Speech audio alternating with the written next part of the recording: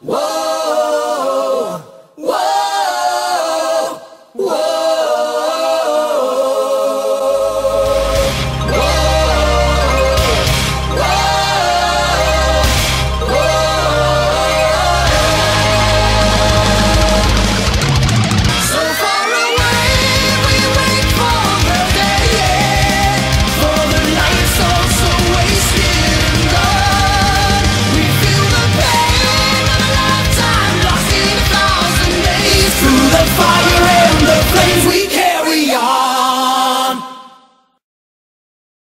Greetings, one and all two UniVS. In this show, we will analyze the stats, weapons, and abilities of two fighters to see who would win in a battle to the death. Many people have predicted the outcome, so let's see who guessed right and who guessed wrong. And be sure to stay tuned after the episode so you can see the next fighters and make your predictions down in the comment section below or in a video response. And who knows, your comment or video response could be featured in the very next episode. With all that said, let's meet our two fighters Yoshimitsu, the ninja leader of the Manji clan, and Raiden, the cyborg ninja who stole my haircut. You know the old saying, don't bring a knife to a gunfight? Well, these two found a loophole. In times of war, they brought powerful swords for cutting down their foes. But only one ninja can be a cut above the rest. Good one, Leo.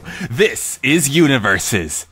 Imagine riding on horseback, traveling across long distances, riding for miles, on a quest to steal from the rich and give to the poor so they can survive. Sorta like Robin Hood and his band of merry men, but with ninjas! Well, that's exactly what the Manji clan is up to with their fearless leader, Yoshimitsu. He spent most of his time performing good deeds for others and assisting Dr. Bosconovitch after he saved Yoshimitsu's life. If someone ever tried to get in the way of his good deeds, like Bryan Fury for example, Yoshimitsu would cut them down with his blade, also named Yoshimitsu. But to avoid confusion, let's call it the Spirit Sword. The reasoning why is because the sword feeds on evil to gain power. Yoshimitsu uses it to slay the wicked and keep the sword in perfect balance. If the blade starves or eats too much, it will feed on Yoshimitsu's mental state and make him lose control. It's not too often when he has to worry about though, since he has a special set of skills for destroying evil. Despite having a blade, Yoshimitsu uses a surprising amount of hand-to-hand combat. Acrobatic flips, powerful kicks to launch opponents in the air, or he can even spin himself silly, slapping his foes across the face the whole time. He saves his long, powerful sword slashes to catch his foes off guard. But even if they were on guard and expecting a simple sword slash, they may not get that as Yoshimitsu has all kinds of fancy sword tricks. He can sit atop the handle, balancing the blade on the ground so he can hop on his foes like a pogo stick.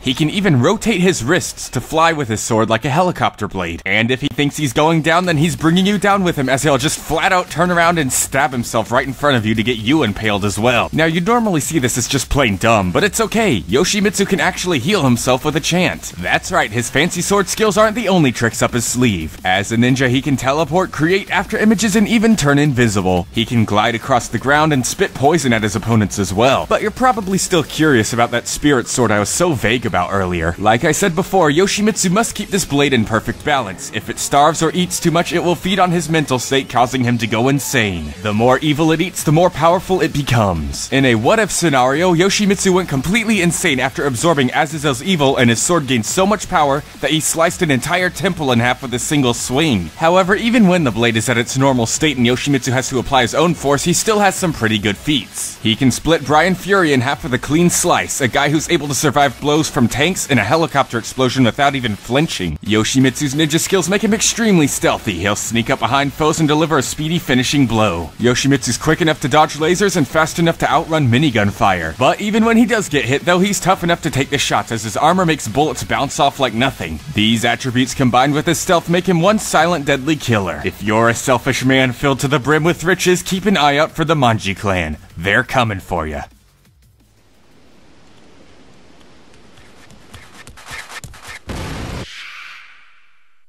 Raiden's had it pretty rough. In fact, I could fill this entire bio section with unfortunate events. But to save time, let's just get right into the specifics. Raiden, also known as Jack, at a very young age had his parents killed right before he was immediately swooped up by Solidus Snake. As you can guess, he's not a very nice guy, as he's the one who killed Jack's parents in the first place. Jack was forced to be a child soldier and killed countless people by the age of 10. But when all was said and done in that war, he decided to join Foxhound in order to right his wrongs. But along the way, he met a cutie by the name of Rose who ended up being a spy, but she really did love him because they had a kid, and it's crazy, okay? The point is, he got revenge on the killer of his parents, he got his girl and his kid, and he got turned into a cyborg ninja. Yep, if you thought the craziness would slow down for at least a second, you were dead wrong. Raiden was already a death machine before, so it's hard to imagine how he could get any worse. Well, now he has the ability to generate electricity, he's agile enough to run on walls, he's stronger and faster, and he got a fancy sword for cutting down his foes. This sword is the Murasama, a high frequency weapon with the ability to vibrate.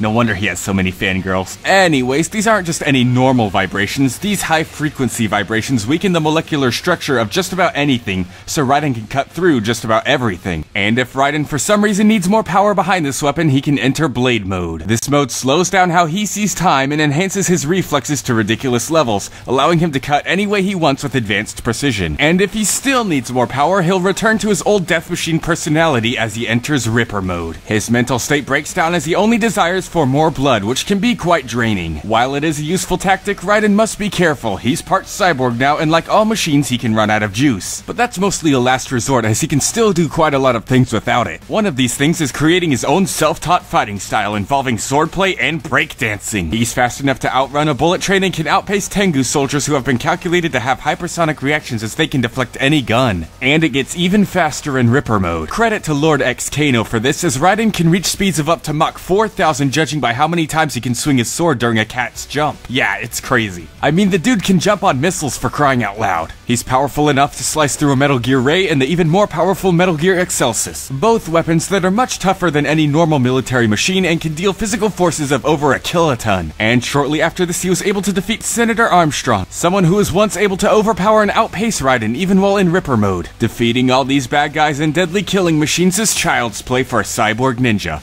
But let's see how he handles someone more like himself. Let's take a look at your predictions while I calculate the results. Actually, why don't I give you a demonstration? Think it's time for Jack to let her rip.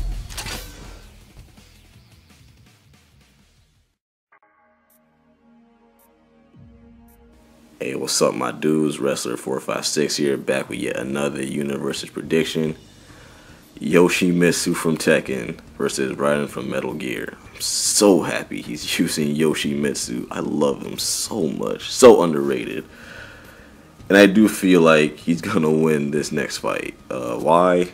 Uh, well, for starters, I just want to say I do know Raiden takes the strength area pretty easily. Uh, he threw a Metal Gear Ray like that. Like Yoshimitsu had never showed anything close to that type of, you know, pure strength before. Sorry guys, my eye really itches. Uh, in terms of uh, speed, I say Yoshimitsu is way faster. Like he moves so fast, it creates several after images, and he can dodge bullets, lasers, the works. And uh, I don't feel like Raiden quite stacks up to that as far as I can remember.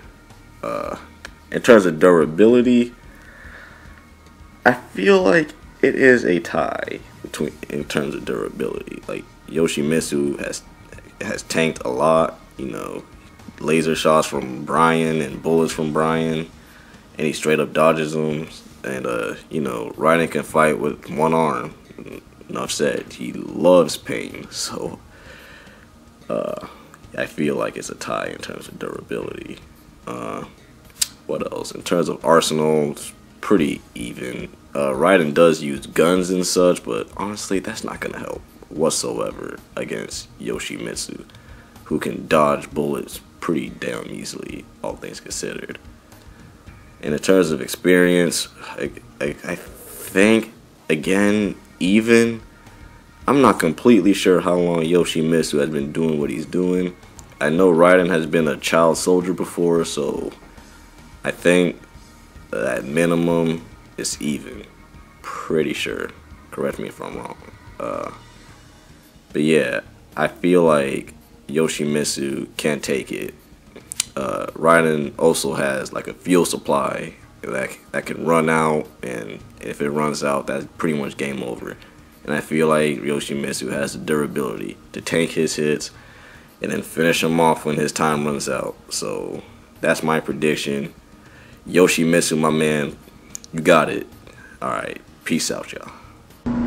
Corn O'Keefe here, guys. Bring you my next UniVS prediction. We got Yoshimitsu from Tekken versus Raiden from Metal Gear. Let's get down to business. You know, Yoshimitsu is a badass, folks. His sword style, you know, his style of fighting involves a blend of ninjutsu samurai sword style. He hits you with a blend of those kind of slashes and strikes. So some kind of ninjutsu samurai sword style. It's pretty epic actually. Fast enough to react to bullets and most likely slice bullets in half. I can definitely see him doing that. He's actually very strong, strong enough to hold himself up with his metal hand with it on the with the tip of his freaking sword and basically hold himself up like that. That's a feat that's a feat of strength in its own right, folks. Um he uses his sword to impale people. He does a lot. He does rapid, rapid sword swing, swings and slashes. He goes up against some of the heavy hitters in Tekken, folks. Very swift. So he is. He's fast, able to react to bullets. He's physically dominant to a lot of Tekken characters. He uses a ninjutsu samurai sword style. He's an incredible character. Moving on down the line to Raiden from Metal Gear. Raiden from Metal Gear, aka Jack the Ripper himself. And his sword, Murasama, a badass sword. It actually weakens his opponents, so to speak, weakens their molecular structure, something, something along those lines. Now, he's actually very fast in his own right, folks, fast enough to run on walls, run on very long, lengthy walls very, very strong, very strong, being able to actually throw around a thousand tons, folks. I mean, close to a thousand tons, if not right at a thousand tons, give or take. He's pretty strong. He's able to toss that stuff, kind of weight around, throw it. Um, so altogether, folks, I'm going with Raiden for my next UniVS prediction like it's really going to be a close match, you know. And Raiden might not be as skilled of a swordsman. Him being skilled though, very skilled, but maybe not as skilled of a swordsman. Um, I say they're both on par as far as speed, but I say Raiden is definitely physically stronger more physically dominant. Physically dominant, yes to and his sword, his sword, how it weakens his opponents. So all together, folks, I'm going with Raiden for my next UniVS prediction. Let me know what you think down below. As always, have a blessed day. Leave a like if you enjoy. Peace. And the results are in. The winner is. Raiden! Oh no, a Tekken character loses right after Street Fighter character won. Who am I and what have I done with the real me? Let's take a look at these results while I make sure my brain hasn't been replaced with a cyborg ninja brain.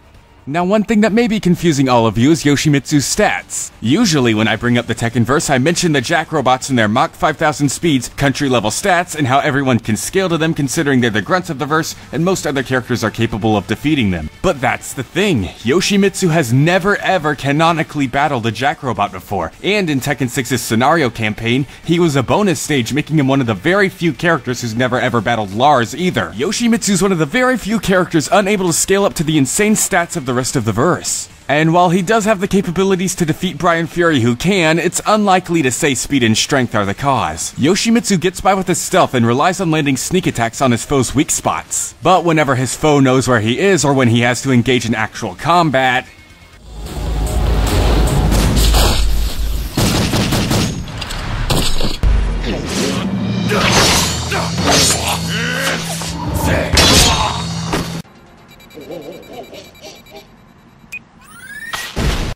it doesn't go well for him. But how on earth does he stack up to Raiden? I mean, even without scaling, he's still able to outpace minigun fire and slice through Bryan Fury. Now, while Yoshimitsu slicing through Bryan Fury may be impressive as he can survive blows from military weapons without a scratch, Raiden can slice through Metal Gears, which are much stronger than your average tank. Not only that, but Raiden's vibrating Murasama would be more than capable of cutting through Yoshimitsu's bulletproof armor. There's also their mentally destroyed states where Yoshimitsu is able to destroy an entire temple with a single slice, and Raiden can enter Ripper mode. While Yoshimitsu's state has more strength, Ripper mode has thousands of times more speed. Not to mention Ripper mode is much easier to access. Yoshimitsu only got to where he was by absorbing Azazel's evil, and while Raiden may be able to run out of energy, there's no way Yoshimitsu would last long enough to see that happen. Yoshimitsu may have a lot of tricks up his sleeves, but not all of them are useful, like his healing factor for example. To do this, he needs to stand still and chant to himself. Not only does this leave him very open, but it's very slow in healing him too. And while Yoshimitsu is skilled against other martial artists, he doesn't know how to handle other ninjas. Even Kunimitsu, whom he knows like the back of his hand, is able to trick him. Raiden would be no different. Yoshimitsu won't be cut any slack anytime soon.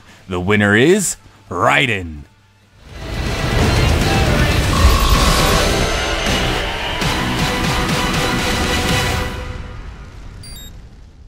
Get ready for the next battle. So fat. Oh, why are you so fat? Why are these people so fat? Yes, this is the best trailer I could come up with.